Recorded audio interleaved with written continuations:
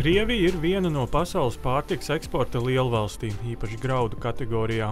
Pērn Krievijas eksporta apjomi pieauguši un visticamāk savā ārtava bijusi arī kara laupījumam okupētajos Ukrainas dienvidos. Ukrainas tieslietu ministrs vizītes laikā Latvijā apliecināja, ka Krievija aizvedusi uz savu teritoriju nozagto lauksaimniecības tehniku. Arī raža ir nozagta un eksportēta, taču cik lielā apjomā pateikt nevar. Īpaši sarežģīti izsakot nozagtajai ražai ir tad, kad tā tiek sajaukta ar Krievijas izcelsmes ražu. Mazliet informācijas mums ir, bet esam tālu no konkrētiem skaitļiem. Parasti informāciju par nozagto īpašumu noskaidrojam tad, kad atbrīvojam okupētās teritorijas. Pirms tam to ir izdarīt ļoti grūti. Ja skatās uz Latvijas tirgu, tad var redzēt, ka te strauji pieaudzis no Krievijas ievesto lauksaimniecības produktu apjoms. Piemēram, augu valsts kategorijā no 51 miljonu eiro 2021. gadā uz 142 miljoniem eiro kara pirmajā gadā. Īpaši strauji audzis krievu kukurūzas imports. Pērn tās apjoms pieaudzis vairāk nekā divas reizes, savukārt šogad septiņos mēnešos ievests vēl vairāk nekā pērn. Tāpat pēc iebrukuma Latvija strauji sākus no Krievijas importēt produktus no saules puķiem. Eļļas, rauši un citi cietie atlikumi pērn importēti astoņas reizes vairāk. Šogad apjoms visticamāk būs vēl lielāks. Tikpat pēkšņi Latvija kļuvusi par nozīmīgu Krievijas zirņu importētāju. Pērn apjoms cenas izteiksmē pieaudzis četras reizes, svara ziņā divas pusreizes. Trīs minēto produktu imports vien Krievijas ekonomikai pagājušajā gadā deva gandrīz 135 miljonus eiro. Šī gada pirmajos septiņos mēnešos summa pārsniedz 105 miljonus. Ministrijas noraidoša pozīcija šādai praksē ir absolūti pašsaprotama un pietiekami skaidra. Mēs uzskatām, ka tā tad nav pieņemams būtībā veikt jebkādas darbības, kas tiešā vai netiešā veidā varētu palīdzēt finansēt Krievijas noziedzīgo karu Ukrainā. Tā norāda Zemkopības ministrijas valsts sekretāra vietnieks Kaspars Cirsis. Vienlaikus gan uzsverot, pārtiks imports no Krievijas nav nelegāls. Sankcijas pret pārtiku nav, lai neradītu barjeras tās nonākšanai līdz nabadzīgām valstīm. Cirsis norāda, ka liela daļa no Krievijas ievestās pārtiks Latvijā nepaliekot un tiek eksportēta tālāk. Zirņu importa, eksporta apjomi pārsniedz vietējos ražošanas apjomus, savukārt kukurūzu tādā mērā, kas apmierinātu vietējo pieprasījumu, šeit, ražo, šeit ražota tādā apmērā netiek.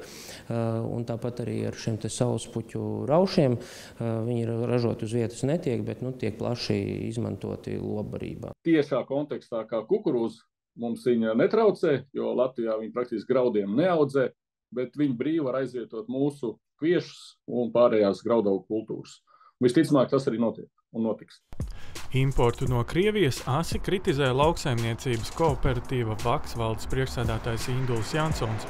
Viņš norāda, ka Krievija šobrīd Latvijas zemniekus izkonkurē, jo Krievijā ražu var izaudzēt ar krietni lētākiem minerālu mēsliem, kā arī auga aizsardzības prasības tur ir zemākas slēpjoties aiz tā paša saucamā ka, nu, pārtiks pietiekamība un pieejamība pasaulē, jā, notiek arī tādas lietas, kas, protams, traucē arī mums, kā vietējiem ražotājiem, jo šī produkcija aizvieto mūsu saražoto produkciju, un, protams, viņa ir savukārt ražot no citās izmaksās un citās kategorijās. Tā kā tā situācija ir nopietna, un visticamāk, viņa arī paliks nopietna.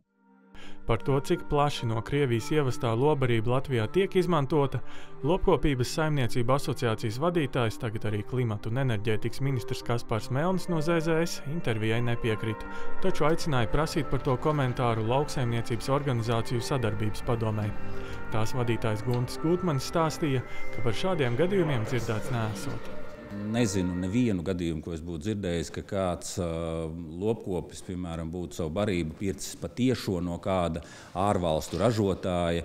Tie visi ir uh, lielāki uzņēmumi, kas piegādā šos izaivielas un barību, un, un tie ir kādi uzņēmumi, kas nodarbojas tieši ar piegādu un tirzniecību. Tas, ko es gribētu cerēt, ka visa produkcija, ko viņi pārdod mūsu lauksaimniekiem, ka tā ir legālas izcelsmes un, un, un iegūta legālā veidā, un šeit nonāk Latvijā legālā veidā. Kas tieši ievada Latvijā Krievijas lauksaimniecības produktus, centrālās statistikas pārvalde vairs neatklāja. Tomēr nodarbošanās veidu un uzņēmumu skaitu pārvalde teikt drīkst. Kukurūzu no Krievijas šogad importējuši četri Latvijas uzņēmumi, zirņus pieci un eļļas raušus seši. To saimnieciskās darbības veids parasti ir graudu sēkla vai lopbrības vairumtirdzniecība, transporta palikdarbības, vai arī trešais veids ir ķīmiskā viela un ķīmiskā produktu ražošana. Eh, vēl ko es gribētu uzsvērt papildus, kad eh, ārējās tirzniecības statistikā eh, parādās ne tikai Latvijas uzņēmumi, bet kopējo statistiku veido arī ārvalstu uzņēmumi. Apskatot lielāko Latvijas lobarības vairumu tirgotāju datus, redzams, ka kopš kara izcelšanās būtiski apgrozījums kāpis viena - Sijā Aurora Baltica. Pirms kara apgrozījums bija 53 miljoni eiro, pērn jau nepilni 180 miljoni. Līdz kara sākumam tas vēl bija Krievijas uzņēmuma Senčabra meitas uzņēmums Latvijā.